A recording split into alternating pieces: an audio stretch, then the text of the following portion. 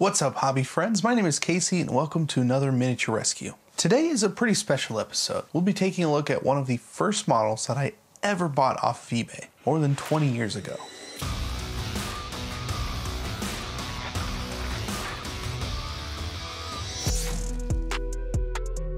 1998 was a pretty amazing year for Warhammer, or at least from what I can personally remember. Second edition 40k was a hit, and third edition was about to come out that October. Lucky for me, I happened to get into playing and painting that year. I also picked up the newest codex for the Eldar army.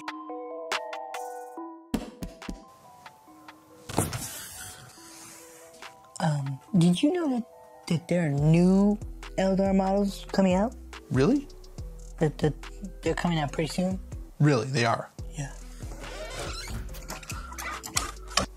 Well, apparently this video is very well timed and there have been some rather large Eldar announcements made for this year. which is in fact almost the 25th anniversary of that new edition and for the model we'll be looking at today. The Avatar of Khaine is an iconic model for the Eldar. And back when I bought this model, I thought it would absolutely carry me to victory, no questions asked. He was just too awesome of a model, and it turns out I've never even used him in a game. The thing is, I got hung up on what I wanted this model to look like. He represented the army, and at the time I needed him to be painted to an unreasonably high standard in order to show how super duper good he was at dice rolling. I honestly don't know why I felt like that, especially at the time. I really hadn't painted pretty much anything, so thinking this model would be extraordinary was really kind of a pipe dream. That certainly didn't stop me from trying, of course. I probably painted and repainted this model at least five times, all without stripping the paint too. I had no idea you could even do that back then.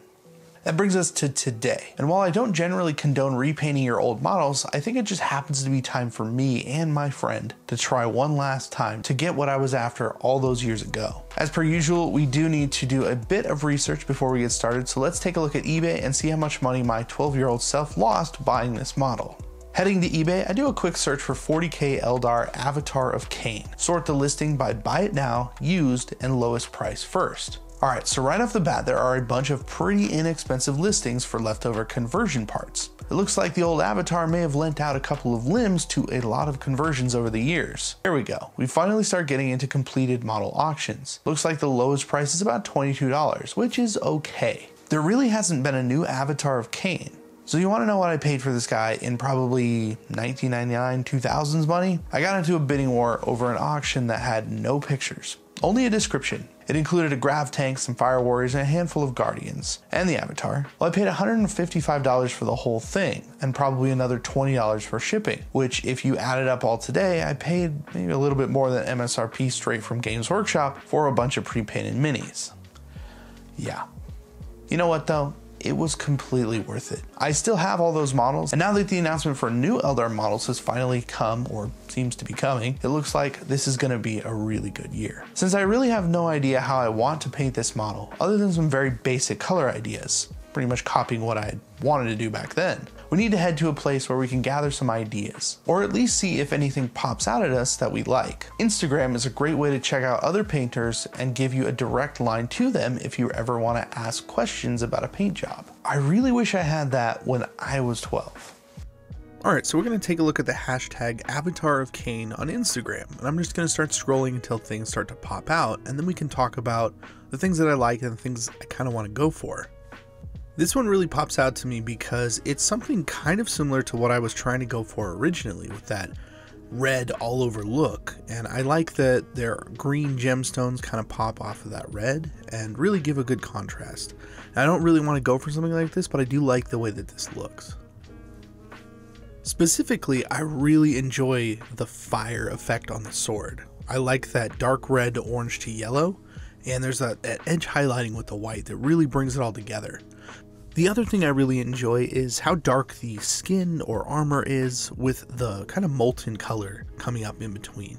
Now you see that a lot, but I do like this example in particular. This one right here really pops out to me. This has that nice gradient on the, the big horns. It's got the red and the green. It's got the Biel-Tan on the loincloth. And it has that classic green hair. And I'm still going to probably do the white stripe in the hair. I think that's a pretty popular thing, especially back in the old model. But I really like the way that this looks. This is very much how I wanted mine to look. So it'll be different, but I think this is a good jumping off point, and I know at least the colors that I like, the greens and the reds, are gonna go together with that, you know, nice orange to yellow gradient. So we're gonna we're gonna see what happens, but I really like this. First things first, let's throw this old guy into a sonic cleaner filled with concentrated LA's Totally Awesome and let him run for a while.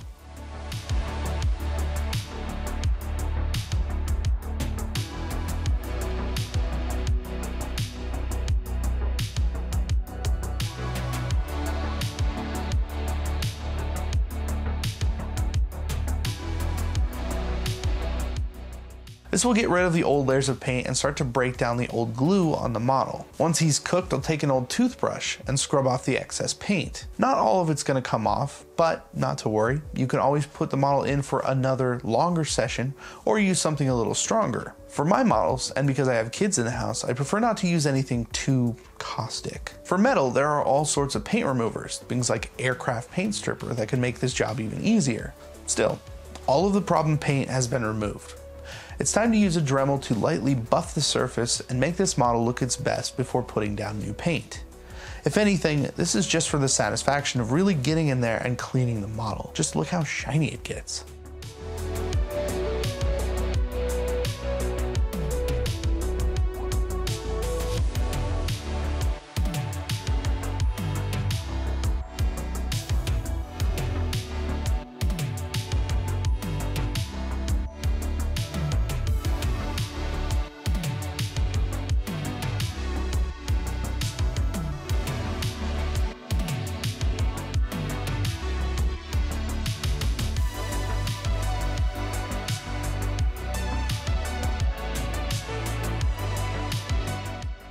Next up, I'm going to pin the parts together using a hand drill and paper clips.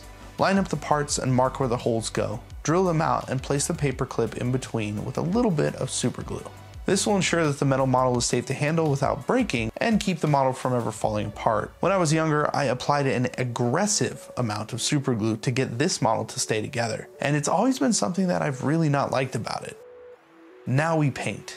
I'll start with a couple of layers of Stynylrez Black. This should protect the pewter relatively well from any falls or bumps. Pewter is known to be a bit bendy and paint can crack when touched. For the first color, I want to start by bringing in that deep red into the body. The old paint job I had was almost completely red, and honestly, it's because it was one of the colors I had at the time. In order to build up that fiery look, I'll start to add the orange into the mix. A little bit of red left over to get that stick, but orange nonetheless. Then we can finally bring in a little bit of yellow to put on the tips, as well as very lightly glaze over the orange and red to mix the color together and give it a little more saturation. This was definitely something I was missing from the original paint job or at least one of them. Like I said, I was working with a very limited set of paints, only a handful really. In order to make that fiery color, I figured I would layer gold near red. Kinda seemed to work. Sort of, not really. Next up, let's set up the wet palette so we can switch to a regular paintbrush for a while.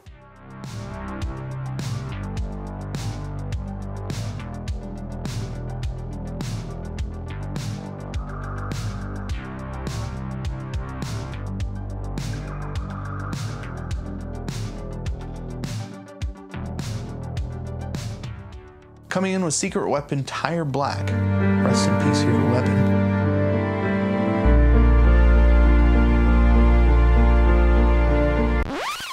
I'm going to paint over the edges of anything that's supposed to be gold later on. That way there's a nice dark color for the gold to stand off of, and it will give us some free black lining and boost the contrast. I'm also going to glaze this into the body to break up the hot spots because the paint is a little bit on the cool color side and it gives you that look of hot lava in the cracks and the upper crust areas are starting to cool down. It's a nice bit of contrast, but it's also pretty subtle. Taking the same red, orange, and yellow, I just want to reinforce those hot spots in the armor.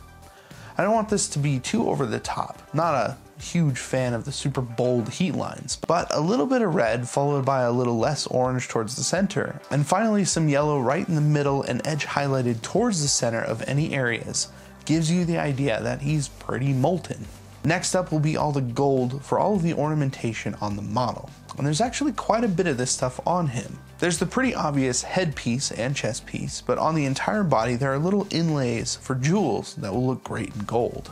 I did try and take my time with this step so I didn't overspill into anything that was already almost done, especially the airbrush stuff. That is next to impossible to cover up. Not too long ago, I found a bunch of my old paints, and wouldn't you know, some of them were actually still perfectly fine. This color in particular, Dark Angels Green, is a really nice base coat for green Eldar Guardians, and I painted a ton of them back in the day. So we might as well incorporate the same color back into this model by using it for the loincloth and hair. For the loincloth, I'll base coat it with this green and then start to wet blend some highlights in with some brighter yellow green. I don't really want stark lines in the loincloth where the folds are, but getting some bright color in there will really make it look a lot nicer than just a flat base coat. I also use that lighter green to highlight the belt he has on as well as the straps on his legs.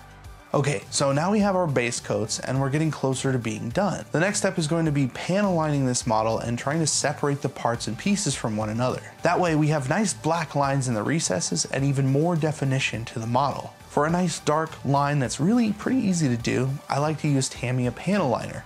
It's easy to apply, easy to wipe away if you want to lessen the effect on the model. Very flexible and overall pretty good.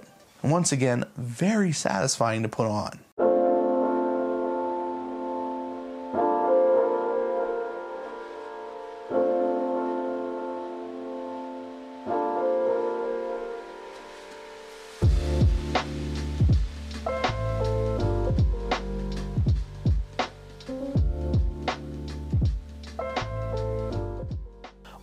Last things to do for this model is the hair. I base coated with that old green that I had, but I wanted to punch up the saturation and contrast a bit more. So I'll use my airbrush for a quick application of bright green, right in the front, followed up by a white stripe that I had on the model previously. Using a little bit of that gold mixed in with some bright silver, I highlight all of the metallics. This really makes them shine and they stand off the model really well. One of my original iterations of this model, I tried to freehand a Biel-Tan symbol onto the loincloth. I've done it before on other models with moderate success, but this time I opted for a transfer. After all, this is an ideal spot for one because of how large and flat it is. If this were a Space Marine shoulder pad, I would probably just opt for freehand. Start by using some microsol to soften the transfer. Lay that onto the loincloth using some hobby tweezers and a brush. I gently guide the decal onto the cloth. Once I get it into position, I use a little micro set to finish off the decal. If you want to make a decal look a little bit more freehand, then you can always come back in with some paint and just fill it in. That usually makes the transfer look a little less plasticky and it sits onto the paint job a lot nicer. This pretty much brings my original wants and desires for this model to fruition, even if it only took a couple of decades. I've had this model with me for a very long time, and for a very long time, I didn't think I would actually ever get back into painting or back to this model. I tried so hard to get this model to look just right the first five times I painted him. But the thing is, it was only my first six months of painting when I got this model. It's a little crazy to think that I've had this in the back of my mind for so long that eventually someday I would go back and try again one more time on this guy, and maybe then I could call it good. The point is, it's okay if the end results didn't line up with what you had in your mind. You're still to learn something to bring to the next model. And most importantly, you'll have fun with it on the table. When this model goes off, I'm not to be thinking of how I could have improved my edge highlighting or airbrush blends. I'm going to be invested in a game with a friend and how my time painting this model really brought him to life right in front of us. Another very good takeaway is that when you least expect it, a new version of that same model you've got on your shelf, the one that you've had a similar experience with, will get an entire refresh and reprint. And there will be a better opportunity to try again. I wasn't really sure how this ending was going to go, so I thought I'd just reshoot a quick kind of ad lib version of it. Basically, this model has always been sitting right in front of me. It's been kind of staring at me for a long time. It was part of the reason why I left the hobby long time ago. So it's it's kind of been a weird thing. It's just on my mind for a long time. And it's like I really want to go back to that model, and I want to do something. And of course, right when I decided to do that, you know, I just saw it sitting on the shelf, and I'm like, I'm doing it this week. We're gonna do it. We're just gonna take care of it. The new announcements came out for this new Eldar stuff, which good timing, bad timing, I'm not sure. Um, I'm really looking forward to that new avatar of Khaine. and I think bringing in Games Workshop's newer aesthetic of, of creating models that are more for painting, I think I'm probably gonna have a pretty good time doing that. So I'm gonna try and find one used, and if not, we're just gonna do it. We're just gonna paint it. We'll do a cool comparison video to this one. So, you know, if you're not subscribed, I highly suggest and thank you for doing that. So uh, let's get let's get moving. Let's let's see the end of this video. Well, that's going to do it for this week, hobby friends. Thank you again for joining me on another miniature rescue. If you like something about this video, please consider liking, sharing, and subscribing as it really helps out the channel. Once again, I'm Casey, and I will see you in the next video. And of course, here is the completed Avatar of Khaine.